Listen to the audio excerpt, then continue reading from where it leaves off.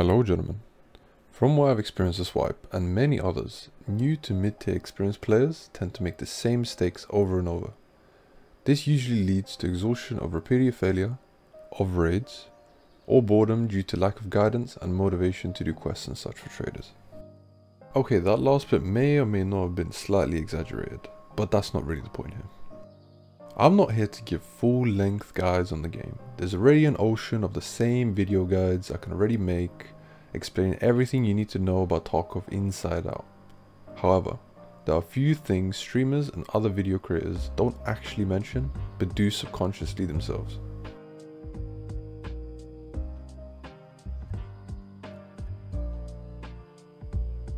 So firstly, helmets. Helmets are great, don't get me wrong, but if you really think about it, how often do you really get saved by them? More often than not, you're greeted by head eyes. I let out. Okay, cool, I guess, but Oh, I'm yeah. dead. I'm dead. You died? I died. Or the new contender for this patch, patch 13, at least from my experience, head jaws. Sparrow. Oh, what? Dead. I'm dead. There's two. I am aware of the videos that are already out there on guides for new players recommending the so-called turtle helmet, or what I like to call it, the good old 1960s. Don't get me wrong, there's nothing wrong with running one, but honestly do not think it's financially viable. The turtle helmet has the advantage of it being 22k. Great for its price, however you're locked out from in my opinion the best headset, the M32s. Vast majority of the players will instead choose to use the GSSHs. They aren't great themselves in audio profile, but they're very cheap in price, coming at 15k. Now, the turtle helmet enjoyers that I do come across are not always the most experienced, hence why they wear the helmet, no flame intended. They usually have themselves in a disadvantageous position to then be greeted by head eyes or head jaws. Now a quick solution to this problem I'd like to pitch is the Shattered Mask or the Glorious E Mask from the flea market. Players without access to flea I'll get to shortly afterwards. By the time of this recording, the Shattered Mask is sitting around the 20k ruble mark, whilst the Glorious E is sitting around the 22k range. This puts the mask in the same price range as the turtle helmet. But now you're thinking, the mask is terrible. Class 1 protection? Really? Alright, hear me out. More often than not, you're tanking a shot to the head wearing the turtle helmet thinking it sponged it. But that's rarely the case. Any type of bullet with 30 pen or above is going straight through that piece of tin foil you call a helmet. Instead, the helmet is actually ricocheting the bullet. This brings us back to the mask having a high ricochet chance, which is in line with the helmet, meaning you have a decent chance of surviving head eyes or head jaws, which in my opinion is more common than top nape or around the top side head area. Now the next point brings the advantage to the masks. Having the ability to wear the M32 headsets into the raid over the GSSH. The GSSHs are a considerable amount cheaper, but cheap doesn't always amount to good. With an increase of 13,000 rubles, you gain a significant advantage in hearing clarity and audio profile wearing the M32s. This can make or break your raid in certain PvP scenarios. But honestly speaking, the patch 13 audio has been absolutely terrible, regardless of what headset I choose to wear, for me at least. If you really want that helmet badly and feel like you're gonna get head topped by some scav, that's fine. Run the mask and find your helmet in raid. The amount of gear you can upgrade throughout the raid is crazy, if you know where to look.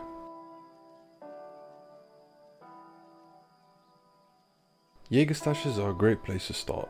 And yes, I am aware of the stash running guides, so you're free to look up any if you don't have the applicable knowledge of their locations. They are indeed very profitable, but also handy for gear upgrades in raid. Helmets don't just spawn in stashes though. Never sleep on any kind of weapon boxes or green army crates. Recently, I've been seeing people find intelligence spawn in them too, which makes them that much more valuable to hit. Bullets. Vast majority of new players don't know which are good. There's a simple trick to it, which applies to 90% of the bullets found or seen on the market. Any bullet that starts with a B is good, and that includes any caliber. B is always good, and there's tiers to that good, but just know it is good and you should use it. Don't let it rot in your stash waiting for Tarkov 2 to release before you plan to use the ammo. Next up is 556, and this one is very simple. If you have nothing, and we're talking level 1 or level 2 traders, M855 is the best you're getting. If you cannot purchase M855, M855 can be obtained through scavs if they have an ADAR or sometimes the M4 on them. Always check their mags in the rig, other than that, do not really use anything else. It is not worth it. The amount of players I've seen in the level 20 range or below using FMJ for some reason baffles me, but that's fine. Talk of knowledge comes through experience in the end. Now for the good bullets in 556. Anything that ends with A1 so for example, the M856A1 or the M855A1. If you like it in even simpler terms, and this applies to all bullets, inspect the bullet by double clicking and see if it has a black tip.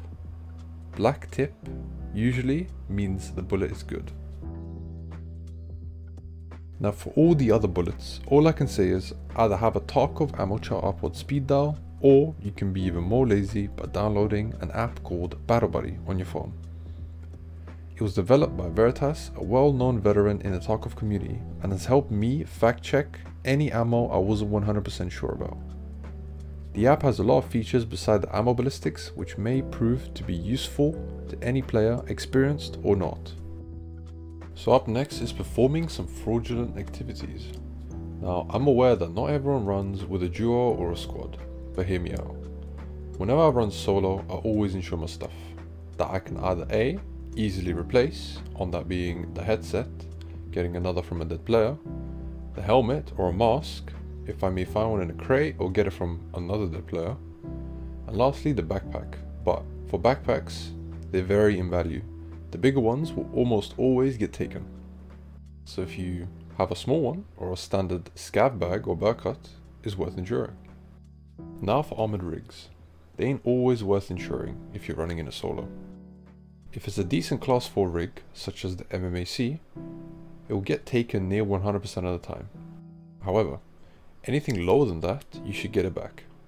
More on this, if there's by any chance you are wearing a large armored rig, such as the Ana M1 or the M2 rig, it's quite likely players will not take them due to the size of them being in the bag. On top of that, if it was zeroed out, you're near guaranteeing you'll get it back in insurance. Now when it comes to running duo or a squad, always insure your gear, regardless of what it is. Unless it exceeds 200k on insurance, then there's a chance you might want to rethink your choices. But in case of any scenario you may have died in raid, you still have your duo or squad to throw your gear in the bush. And near guarantee you can run the same kit again for a third of the price. Now for the last point, why do I see people taking out their insurance the second they see a comeback? Insurance stays there for 4 days before it expires. That's 4 days of extra stash space you're getting free of charge. Why crap up your stash with gear you won't use until later anyway? Now for a bonus tip. When taking stuff out of insurance, you can hold Alt plus left click to instantly equip the stuff from your insurance screen onto your PMC directly.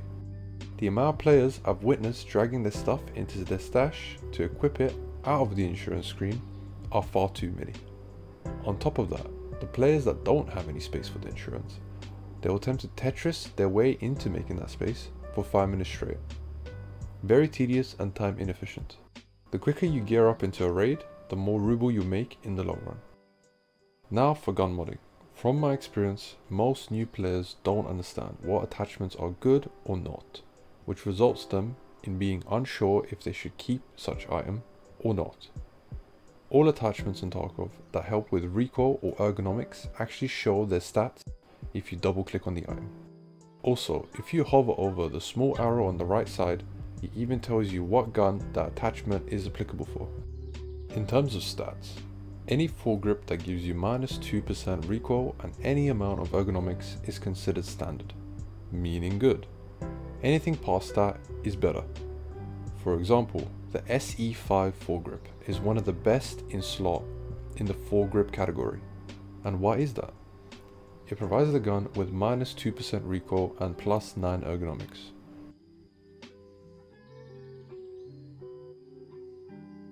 Having any grip that is remotely close to those stats is very good and should be used. Now for sights on guns. A lot of newer players that don't have good traders tend to use terrible sights for their weapons, such as the PK-06, rest in peace, the Weaver sight, and the MRS. These red dot sights are absolutely terrible. They wobble too much to land an accurate shot unless you stand completely still and hold your breath by pressing Alt. If you ever try to strafe even the slightest amount, the sight will move way too much for you to restabilize and take an accurate shot. From Peacekeeper level 1, you are able to purchase the Burris Fastfire Reflex Sight for $166, which requires a Burris Fastfire Weaver base for an additional $16. This $182 or 20k ruble combo is very clean, stable and accurate. The small problem with this red dot sight is, not every weapon this goes well with, such as the UMP and the MP5 to name a few. The front iron sight will be blocking the red dot vision, making it very hard to aim with these weapons. Now for scavving. Don't get me wrong, going for a scav to get ruble is great. Having the addition of getting given random sets of gear with zero risks to a new player is perfect for them. The ability for a new player to have no attachment to the gear they've been given is great. So let's say if they were to perish, they don't feel as bad. However, if that player is just doing scav runs with very minimal PMC runs, that is not very good. Let me explain why. Put into simple terms, what is 10 million rubles good for when you cannot spend on anything besides budget kits and lightly modded weapons? Leveling your PMC is necessary in game progression. If you were to do PMC runs like a scav and die, you'd lose a bit more rubles. However, you'll still gain soft skill experience like endurance, strength, search skill, looting skill, and most important of all, actual experience progress you closer into the next level. Levels are required for high trader reputation and better gear unlocks. I am aware of gear fear, we've all been there, and it's not as hard to get out of it as you think. One thing I like saying is that if the gear is in your stash unused for the entire wipe cycle, then it's as good as lost, or worse. It's lost gear that is taking up stash space and stash space is invaluable. There are containers in the game made so you can save as much of that stash space as possible to allow the player for more item storage. Running scav permanently will not make you a better player if all you do is loot all day and gain ruble. Alright, I hope you learned something new today and that might help you in your future raids.